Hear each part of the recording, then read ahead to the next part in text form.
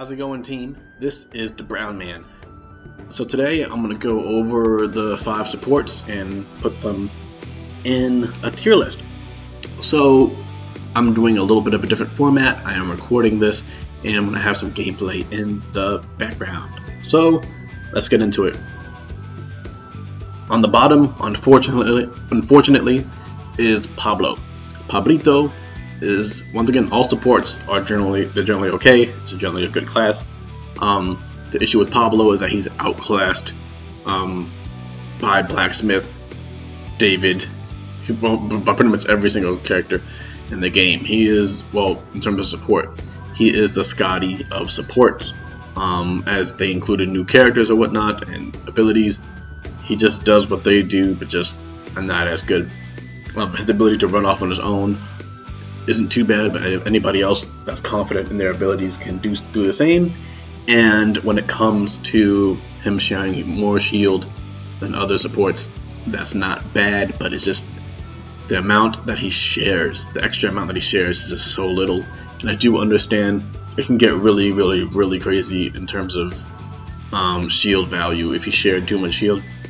But unfortunately, without being able to share too much shield, and is active, having a 120 second cooldown, he's just kind of around here.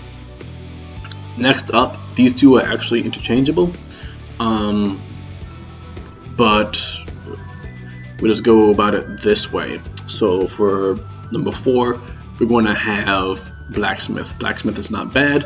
Um, he can create legendaries. Totally get it. But the time it takes to actually craft a guaranteed legendary it's quite a, lot of time, especially when you're going against a, a, fucking, you know, an aggressive demon. If you're going for a legendary, then when you get while going against an aggressive demon, you're not going to get much use out of his active, which means his active is pretty much non-existent um, throughout the game. Throughout the game, his active is pretty much non-existent because it is only used to create a weapon, right? So it takes nine pink F at minimum, 9 collected in order to max out metal scraps. And then you need to make sure you have the 50 metal scraps for the guaranteed legendary.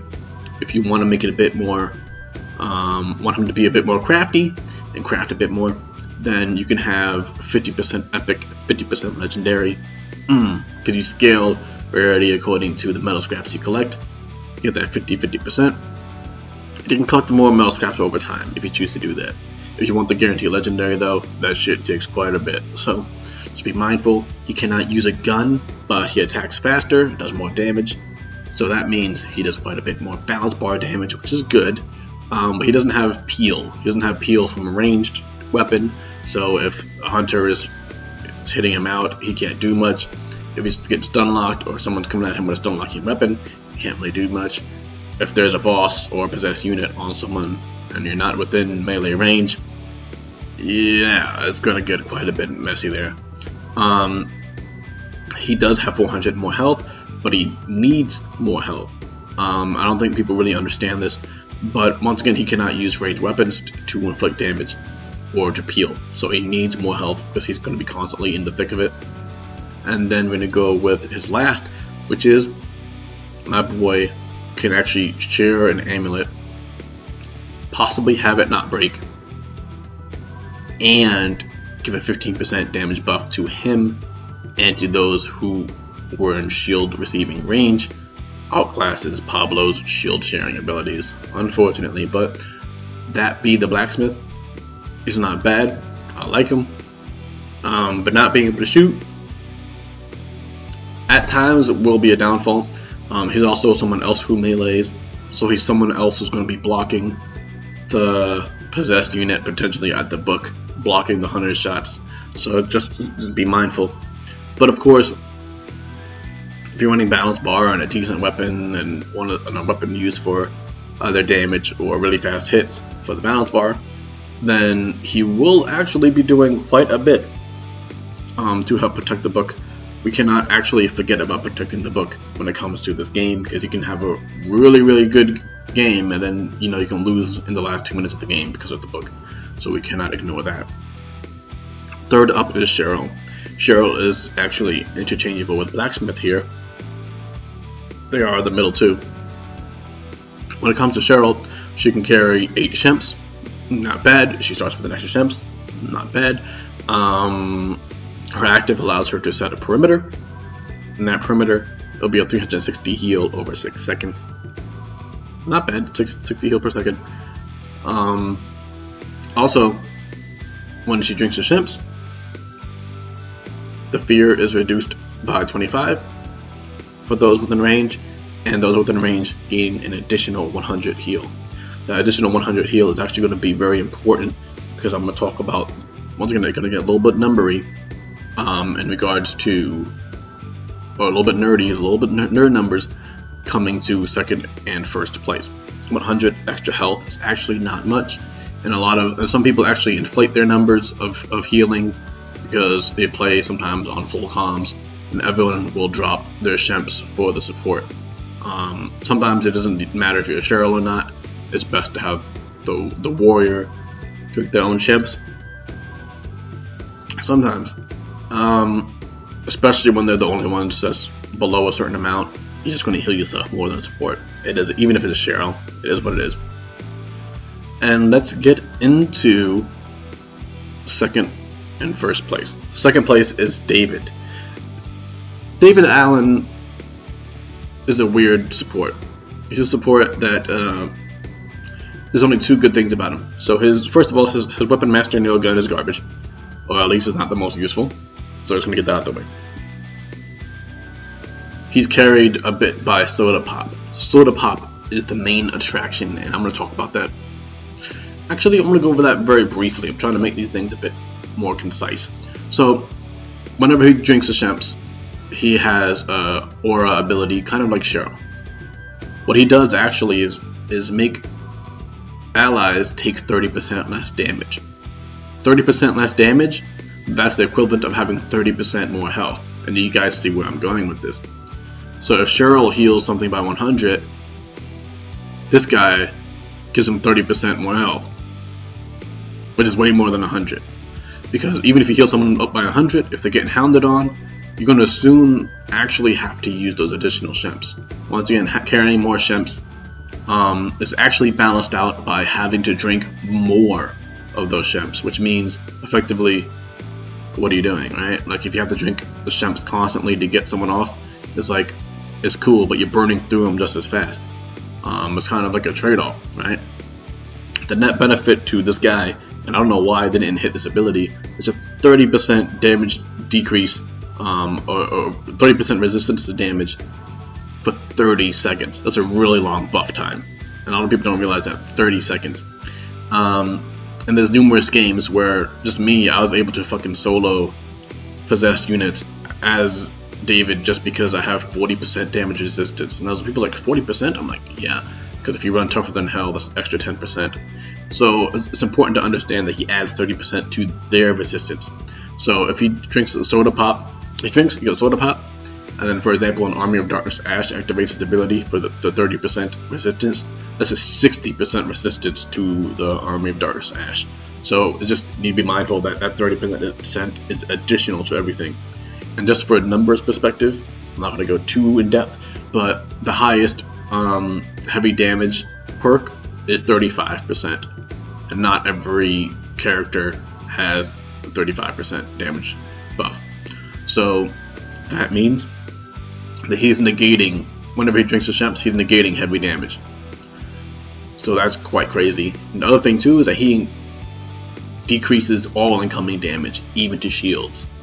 And that's just something that, once again, goes above Pablo and goes, goes above Cheryl, is that if, if a warrior is shielded up, even if they don't need the extra health, he makes their um, he makes their shield a lot more difficult to go through. Like because when you when you are a support you are group healing right? So sometimes someone will get the heal and they don't need the heal right? But maybe there's like two people who need the heal. You'll do it and the fourth person is like okay it's a little bit of top off.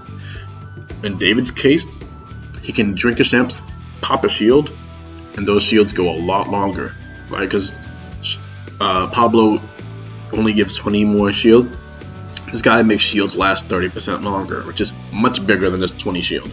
So the guy gets ridiculous. And then even if, for example, you know, you, you guys might likely have warriors or leaders who have shield up, who don't really need a heal, if they're in their aura range, they suddenly become super tanky and really difficult to break through. So his ability to reduce damage is always viable, especially when an Evil Ash is coming up and you can't actually heal health. Getting that 30% damage reduction means they can take a hit or two and slip out the combo and heal themselves later. It means for the she bitch, her anti-heal, um, yeah, she reduces the heal, but that 30% damage mitigation means they can still be potentially saved. That is something that Cheryl cannot do. Cheryl is weak to anti-heal. And the top support... Actually, let me finish this up real quick. I forgot the last ability talking about that. Um, so when it comes to David, David's active is I uh, possess units cost more to possess. You can make him lose infernal energy by hitting them. Fear is reduced. Um, a total of 60 fear reduction. It's um, 2 fear reduced per second. It lasts 30 seconds. That means that the effective cooldown is 90 seconds. If it's 120, but it lasts for 30 seconds, the effective cooldown is 90. So, not bad. The top support is, for me, is Evil Dead 1 Ash still and it's once again thanks to the numbers. And a lot of people, a lot of people don't like to look at the numbers. I'm, I'm very like numbery here. Um, when it comes to Evil Dead 1 Ash, um, he can reduce fear by 50, cool down to 60 seconds. It's an instant fear drop. It's not over time like uh, David. Alternative healing. Alternative healing is pretty much to a science. So it depends on uh, the unit, it depends on your damage, it depends on your investment, it depends on basics. But basics are actually a bit more aggressive, so they're a bit more willing to crowd around you, if you guys haven't noticed already, right? So basics are actually really aggressive, so they're going to crowd around. If you have a spear or a staff or something with quite a bit of range on those heavies, if you hit every single one, for example, and if you only heal 15 per hit, because he heals per hit, right? So if you hit 3 or 4 and you heal 15, that's 45 or 60 healed. Now you know what that means? Cheryl heals an extra 100 whenever she drinks her shemps. You're, you're out healing Cheryl's extra heal without using your shemps. So when you drink your shemps, it's pretty much the same thing. Um, other thing too is think about this as damage mitigation. If you if, if you're getting attacked and if you're healing 30 plus, 15 plus, whatever, um, per hit, that's 15 taken away from the incoming attack. So let's say um, a possessed unit is coming in and they're hitting people for 70, 80 damage, but you're healing 30 per swing. That's essentially the demon using doing 50 damage swings. That's just something to keep in mind. And of course, the last two perks are mark target. Mark target healing, mark target damage. Mark target damage makes it so everyone does 20% more damage to the mark target. Of course, you need to be okay with headshots. Some people go shotgun for easier, some people go for revolver. All depends on you. Marked target healing allows you guys to actually heal 10% um, of the damage you do. So for example, if you do an 800 damage headshot, you heal 80. And once again, going into maths of Cheryl, Cheryl heals 100 extra. If you do two headshots, for example, even if you do only 500 damage for a headshot. Um, you don't just have to do headshots to heal. Just keep in mind, you don't have to do just headshots to heal. But headshots do the most damage, right? So if you do, for example, a 500 headshot on the, on the low end, and you do two of them, that's 100 heal. That's just share a little extra. So just in terms of numbers, it gets a little weird. Um, but once again, that's all without using Shemps. And one thing I do want to say is that no matter who the support is, I, I see I see people only do it with Cheryl, which makes Cheryl has really inflated heals. Cheryl can heal everyone, and so can every support. So if you're pooling your your shemps together, you can also pull your shemps together for the Pablo. You can pull your shemps together for the ED, ED1. You can pull your shemps together for the blacksmith. So don't forget that. I keep seeing people pull their shemps only for the Cheryl. Everyone can pull their shemps together. And that'd be it. And if you guys disagree, or if you guys like it, hey, let me know. If you like this kind of format that I'm, I'm, I'm diving into a little bit, let me know. You guys be safe, stay hydrated, and of course, have a good one.